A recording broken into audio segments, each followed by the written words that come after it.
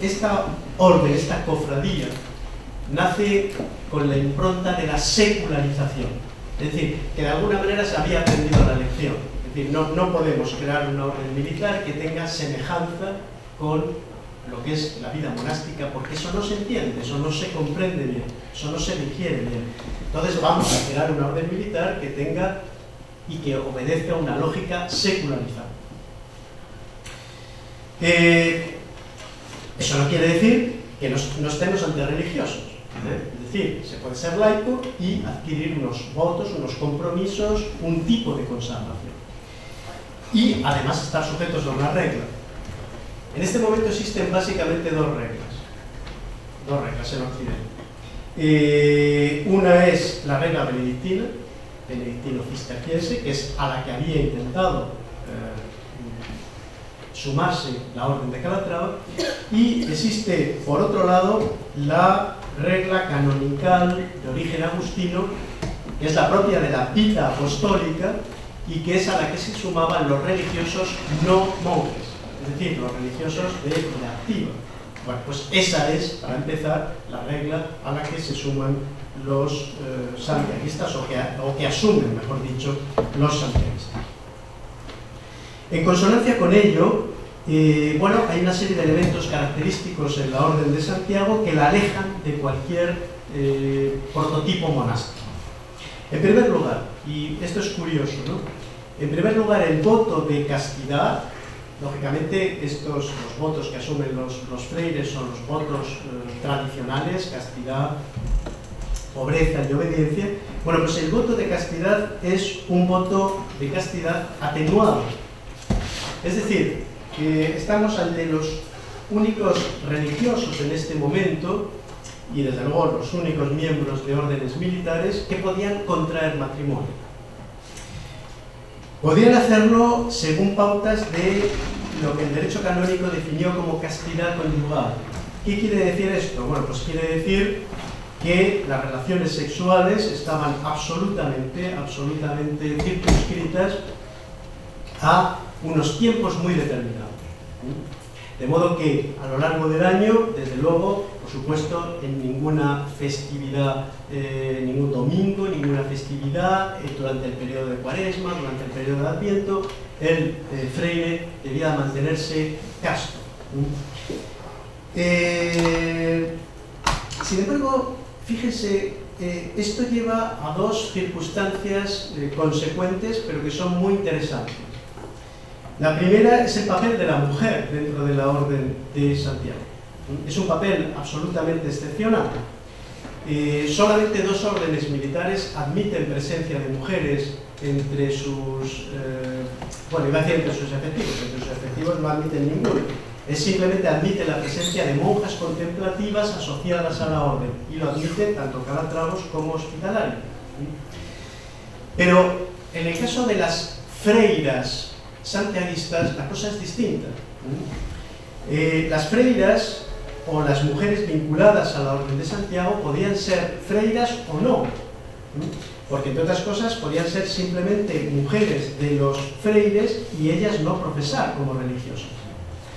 Evidentemente, en los momentos en que no eh, podían hacer uso de la vida conyugal, es decir, en los momentos de abstinencia sexual, estas mujeres se eran recluidas en una serie de prioratos, una serie de conventos. Pero ahí tenían una actitud absolutamente activa. ¿En qué consistía? Pues consistía en educar a los niños, a los niños de los freires.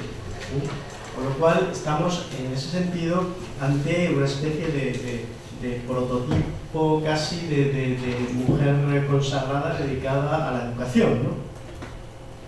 La segunda circunstancia que se deriva del voto atenuado de, castidad es el voto atenuado de pobreza, claro.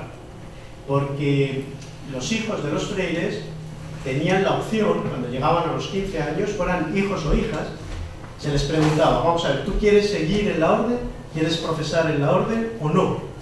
Si profesaban en la orden, de acuerdo, no, no tenían que tener bienes, pero si no profesaban en la orden, naturalmente que exigían la parte de la herencia materna. Y para exigir una herencia hay que tener bienes. Por tanto, los freyes tenían bienes también. ¿eh? estamos, como ven, ante un esquema muy secular, ¿eh? muy secular de la concepción de una orden religiosa que lo era. En segundo lugar, otro, otro aspecto propio de esta, de esta secularización o de, este, de esta realidad secular de la orden de, de, Santiago es eh, la dedicación a la redención de cautivos. ¿eh? Es decir, esto es una actividad no contemplativa, es una actividad propia de órdenes religiosas que son órdenes de tipo eh, activo. Bueno, pues eh, efectivamente los santiaguistas tenían incluso como exigencia regular, como exigencia de su regla, eh, la prescripción de dedicar el botín de guerra, una parte muy importante del botín de guerra, a rescatar cautivos cristianos cautivados por los musulmanes. Y luego finalmente hay otro detalle curioso, que es, son las actividades cinegéticas son muy propias de la nobleza de la época, ¿no? las actividades, la, la caza, con los, eh, los, Azores y los, eh, los eh, en fin, lo, que es la caza, ¿no? es decir, con los halcones. La... Bueno, pues esta... ¿Perdón? Exactamente, exactamente, exactamente. La cetrería es lo más, lo más adecuado. Bueno, pues esta actividad era muy propia de la caballería, de la nobleza, pero en absoluto, estaba absolutamente vedada a las órdenes religiosas. ¿no? Bueno, pues sabemos por los establecimientos de los santiaguistas que ellos sí podían practicar la cetrería, podían tener sus eh, azores. Bien, ¿cómo se eh, estamos en cualquier caso en una orden religiosa. Entonces, ¿cómo, cómo se, se, neutraliza esta excesiva secularización? Pues fíjense, es curioso porque la Orden de Santiago es la única de las órdenes militares que es conocida por una advocación de un santo, Santiago. El resto de las órdenes militares se conocen siempre por el lugar de ubicación de su convento central. Orden de Calatrava, nacen en Calatrava, Montesa, nacen en Montesa, etc. En cambio, Alcántara, eh, en cambio, la Orden de Santiago sí tiene como eh, manera de identificarse estar sujetos a la advocación de un santo. Esto es importante, y no puedo detenerme en ello, porque eh, justamente es en este momento, en el siglo XII, y el hecho de que los santiaguistas eligieran a Santiago como patrón de su propia, de su propia organización, va a incrementar la deriva, la deriva militar o militarizada de la figura de Santiago. ¿eh? Es decir, Santiago, el famoso Santiago Matamoros, o en su versión americana, por cierto, Santiago Mata Indios, ¿eh? está muy presente, por ejemplo, en México. ¿no? Bien, pues esa, esa versión del Santiago militar es algo que comienza a consolidarse en este siglo XII y el hecho de que los santiaguistas eligieran esta vocación tiene obviamente mucho que ver. Pero a cambio los santiaguistas recibían toda la fuerza sacral de ese santo ¿eh? que se había aparecido en campo de batalla militando a favor de la causa de Cristo naturalmente y en contra de los musulmanes. Bien, eh, muy rápidamente alguna característica general, es decir, cómo se organizaban los, los, eh, santiaguistas. Bueno, eh, esquemáticamente hay seis grupos dentro de lo que es el organigrama o si quieren ustedes la, descripción de organización de los santiaguistas, hay como seis sectores distintos. En primer lugar están, el más importante de todos, son los frailes caballeros. Los frailes caballeros es el núcleo esencial de la orden, es el más numeroso, es el más cualificado también. Todos los frailes caballeros debían de ser hidalgos, proceder por tanto de un estamento nobiliario. De entre estos frailes caballeros son elegidas las dignidades más importantes, el maestre ¿eh? y los distintos comendadores, las encomiendas son las circunscripciones de gestión del dominio de la orden son unos pequeños, unas pequeñas unidades de gestión económica y donde se reproduce en a escala pequeña eh, bueno, pues la, práctica conventual de los propios frailes. Bueno, pues al frente de cada una de esas encomiendas hay un comendador. Todos estos comendadores, igual que el maestre, debían de provenir de estos frailes caballeros. Existían, en segundo lugar, los frailes clérigos, freires clérigos eran un grupo mucho más reducido, ¿eh? es decir, no son comparables. Ellos debían de proceder también de la hidalguía, tenían que ser, por tanto, aristócratas. Vivían normalmente recluidos eh, en sus eh, prioratos o conventos. ¿no?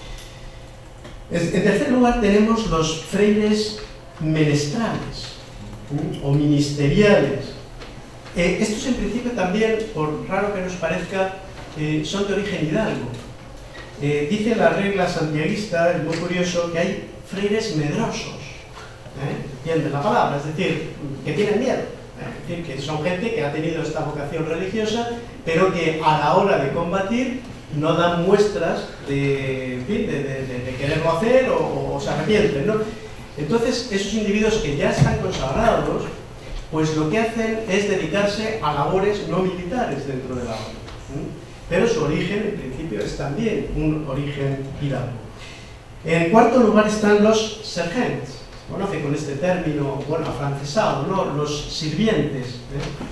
Eh, los sergents o sirvientes eran combatientes a caballo, estos también combatían, como los freires caballeros, que hemos citado en primer lugar, pero mm, eh, su origen no era un origen aristocrático, era más bien un origen servil. De ahí su categoría como sirviente. En quinto lugar están las freiras. De ellas ya hemos hablado. ¿eh?